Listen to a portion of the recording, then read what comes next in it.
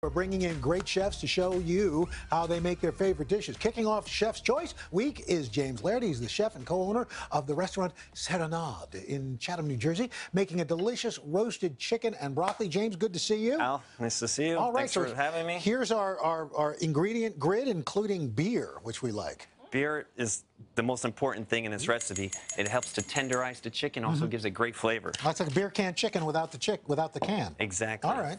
Some salt and pepper. Okay. Lime Lemon juice. Lime juice. Okay. Parsley. Yep. A little bit of cumin. Maybe it's too much.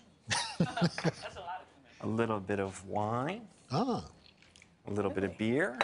right. Beer and wine. I've never seen that combo before. The nice part about the beer Mm-hmm. is if there's any left over, you can drink it. Bam. All right. Now, Let- what happens We let this sit minimum four hours up to a day. in the fridge? the longer the better. Okay. Exactly. All right. Then you take it out. You pat it dry. We pat it dry, tie it with a little bit of string so that Mm-hmm. the, the bird looks nice and, and tight and it'll cook even more evenly. Roast garlic, my favorite, Ah. uses all the time in the kitchen. Mm-hmm.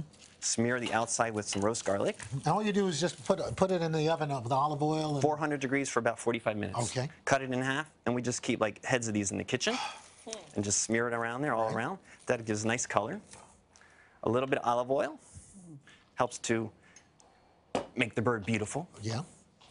brush it that up. around there. Always get the legs because the legs kind of need a little bit of help. Mm-hmm. Okay. In the oven. Any salt and pepper on this? Or? Yeah, salt and pepper. Okay. Thanks for reminding me. Well, that's okay.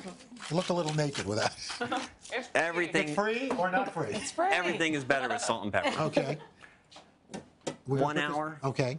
400 degrees Yeah. in the oven. Okay, that's in. Now the broccoli part. Broccoli. So good. Believe it or not, broccoli is in season. It's a spring and a fall Oh, wow. crop. Okay. Mm-hmm. So buy broccoli. So I wash it and then put it in a bowl, spin it dry, or just like get most of the water off of it.